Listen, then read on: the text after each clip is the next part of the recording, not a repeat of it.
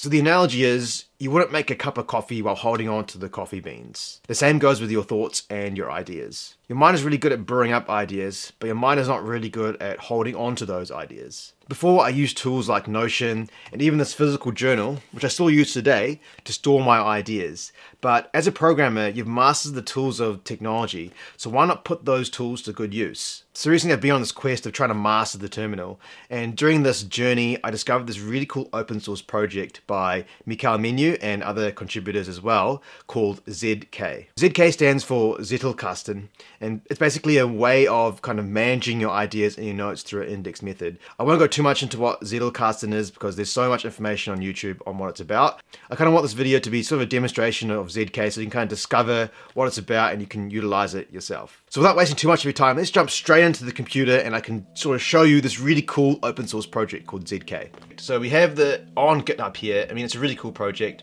I was looking at some of the issues and discussions and the main maintainer, uh, Mickaël Menu, I'm really sorry if that's, if you stumble upon this video, I'm really sorry if I pronounce your name incorrectly. But um, him and all the contributors here have um, done a really good job with the programming and code. Um, I mean, the, the main maintainer, he's really, really responsive on the issues and really, really nice as well, looking at all his discussions. Um, in terms of installation, I won't run through how to install it, but it's really, really simple. I mean, there's um, commands on here, there's really good documentation on how to set this up, because I'll kind of run through how I use it, but um, in terms of how to install it, everything like that, it's all on there. How you want to configure it yourself, it's all on there as well. Um, there's this extra project called Neuron, which is a way of publishing your notes uh, publicly. I wasn't able to get that to work, so if you guys maybe drop in the comments on how you got it to work, it'll be, it'll be interesting to know, because I had difficulty installing Neuron, I have difficulty using um, Nix on Mac OS, so kind of kind of gave up on that, but ZK is able to provide most of my needs as well, and I kind of want to use it into the future. So and yeah, I just want to say in terms of documentation, it's all on there if you want to have a go. Um, and what I'll do is I will actually um, link all this in the description below, so if you want to check out any of the links, um, including even my configs and how I configure things, my dot files will be in the um, description below if you're interested to have a look.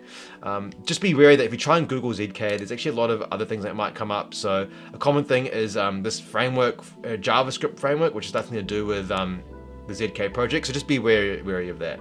So I guess some enough of me rambling on about um, how amazing this project is. Let's jump straight into actual code. So there's actually many uses of uh, ZK and I've customized it in a way that might be a bit confusing in the beginning, but I'll show you how it works in the end. So where all the notes are actually stored in is, is in this directory called notes, but I actually never have to access this directory because of the custom commands that ZK comes with. So I'll get out of that. Well, actually, actually I'll show you some of the, um, the files so you can see these are all the actual notes that I've um, kept. Uh, clear. So we can actually get out of that and go into my home directory. So we're actually in my home directory now. And the, the thing I really use ZK for is creating daily entries. So there's a custom command called ZK daily. What this will do is, if there's no um, daily sort of journal entry for today, it'll create one. And if, that, if there's one that already exists for today, it will actually edit that one instead of creating a new one. So if I go into that, you'll see it comes in, up in my journal here today. So this is nothing to do with ZK, but um, the things I'm trying to do is I'm trying to do focus on one big thing today, so that's filming this video. I'm trying to do gratitudes as well. So if you guys follow Harms' content, so Harms is a YouTuber here, he talks about doing gratitude journaling. So I use this for gratitude journaling, but I kind of want to use this as well for gratitudes as well, just to see how if I'm writing the same things again. And the benefit, obviously, with computers and programming is that you don't have to um, because when you write things down, it's hard to search up things you've written, versus if you've typed on a computer, you can use the search function, which I'll show you guys in, um, in a second, uh, and later, later in the video. So yeah, what I'm trying to do is gratitude journal here. Any thoughts or problems I have for the day, I'll type it all into my daily journal here. So that's kind of how it works. So if I want to go into my previous journal entries, all I have to do is type in ZK journal and this will kind of show all my previous journal entries that I have here today. Um, I won't go into it because some of them are actually quite personal and you can see I've just started journal entry on the 21st of June so I kind of want to do this, hopefully this will be a daily practice um, but we'll see how it goes. Now another custom command is if I want to go back into a journal entry that I was in last, all I have to do is type in zk ed last and I'll go into my most recent um, thing that I've opened and that you can see here is actually the script for this particular YouTube video which is quite funny. So I think what a really cool functionality of ZK, and this is where the key thing about Zettelkasten comes in. If we go into my journal entry, you can see that um, here there's actually a wiki link. So this is, this is unique to ZK. So the really important idea with Zettelkasten. Not only is it a way of sort of storing your ideas and notes, because remember, your brain is really good at coming up with ideas, not holding on to them. So if you're able to leverage technology in a way that you can store your information, that frees up your mind to, come, to think and come up with new ideas. But you also have this ability to link ideas together. So apparently, if you're able to link your ideas together, that creates that, that, increases your creativity so you're able to produce more ideas. And if I type in GD, which has nothing to do with um, ZK, it's a kind of a NeoVim LSP plugin, so GD, that takes me to the script of this video, which is which is what I linked it to. Um, so that's really cool. Great, so you're probably kind of wondering why we're talking about journaling and what about ideas you come up with? Let's say you come up with like an idea. Um, I've been reading a book called The Courage to Be Disliked and a really cool idea I came up with that, or I read about in the book was you actually, it's actually in the title that if you want to be free and happy, you have to have the courage to be disliked. And that's an idea I kind of want to don't want to really be thinking about. I want to store it away. So what do we do? Well, we can actually create a kind of a new kind of sort of idea or a new note. So this is actually another custom sort of command, which I'll show you at the very end. So zkne, which is similar to zknew, but um, zkne is kind of just a bit more customized. And I can create this note here, the courage to be disliked, and what they'll do is they'll create a new note. Um, this setup here is actually a template which I'll also show you at the very end. Um, and essentially that's the title there, which is set up, and we've got the date for today, which is automatically populated. A tag that I can give it is live book and tags are really important because I'll show you at the very end where you can actually search up your post related to particular tags. So if I want to look up books, for example, that I've read or notes from books, I can just type in the particular, search up the particular tag for this book. So let's add an idea here. So it talks about etiology, if I can spell it right, and also talks about the main idea, whereas if you want to be to be free, you can't please everyone you must have the courage to be disliked. And that's a note I can store there, so I can go out of that. And if I want to go back into that note and edit it, I can type zk ed last, which is the opens at the last one that was edited. And there it is there. If I want to link the ideas together, I can just do square bracket, square bracket. And if I want to do, let's say friends, because that's another idea I'll be thinking about. It will link that idea to friends. And if I type in GL, it'll show me that that's the particular idea that's being linked to this, this, this new note here. I hope that makes sense. Now you're probably wondering, how do I look up ideas? I can't remember all my ideas. I find uh, we can, uh, it's, it's not convenient just to look at the most recent idea with ed last. I've got another custom command. It's called zkls, and that brings up all my ideas here. And let's say if I want to go to hidden racism in New Zealand, I want to edit that, so I can go all the way down to there. Or what's really cool is I can search things up. So if I go if I type in racism, and this uses another terminal system called FZF built in, and actually over here this is BAT, which is like another another kind of um, terminal application. So if I go into that, I can look at this idea here, which is really, really cool. It's a really cool way of storing my ideas. Now, before we talked about the tags, this is where I've got yet another custom command, ZKT, which allows me to search up things by tags. Um, and if I go book, which is the, if you recall, that was the last one of the last notes I made, it will list um, those particular um, notes with that particular tag. Another one is ZKT YouTube. So these are all my YouTube scripts here with that with that tag. Okay, now we've seen the demo of how I use ZK. What about the configuration files? Well, if we go into my dot files, and if I go into ZK, we can actually look at my configuration. Then config.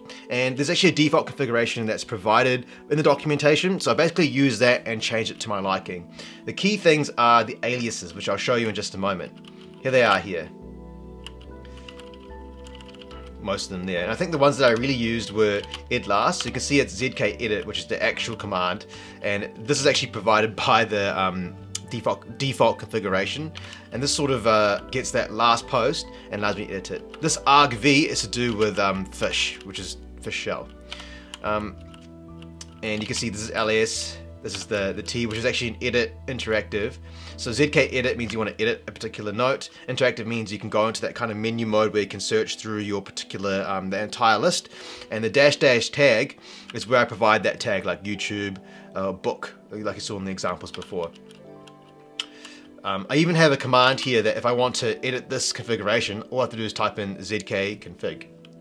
And you can see this is the daily entry for creating that the daily journal entry and the NE for creating a new note. I've also got NEY, which actually uses a different template for particular YouTube scripts. So if I want to create an idea, not just a general idea, but an idea for YouTube, I'd use NEY to use the YouTube template.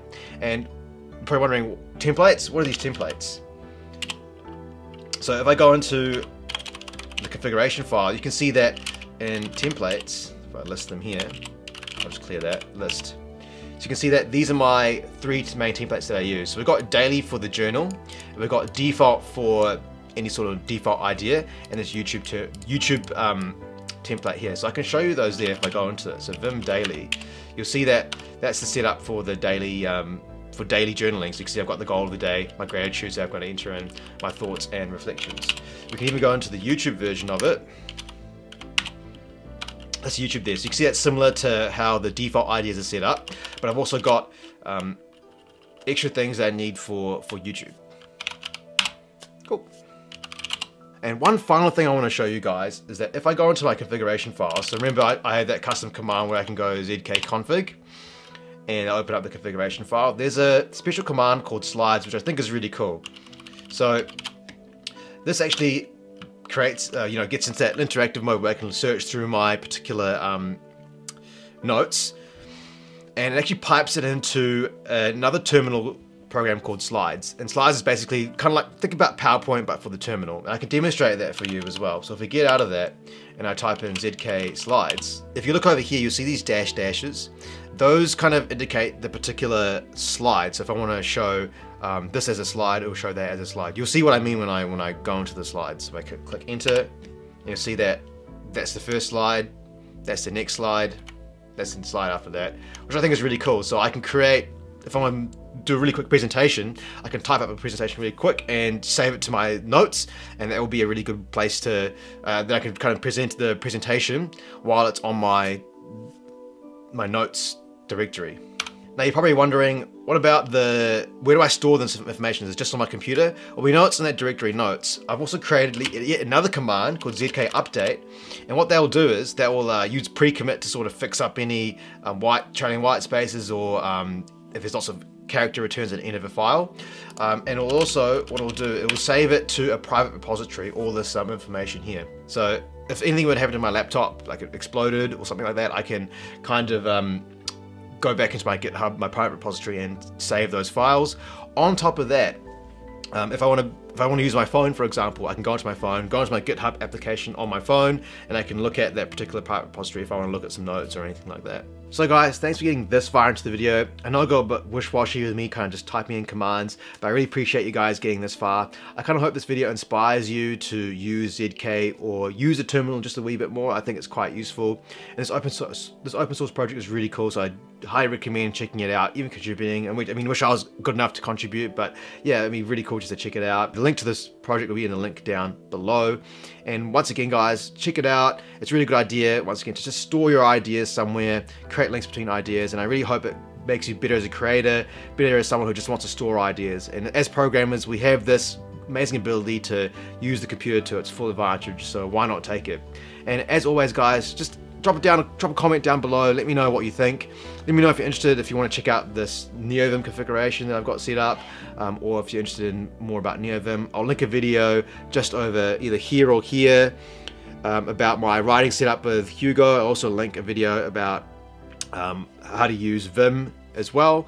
Um, and once again, guys, thanks for watching this video. And as always, guys, stay focused and talk soon.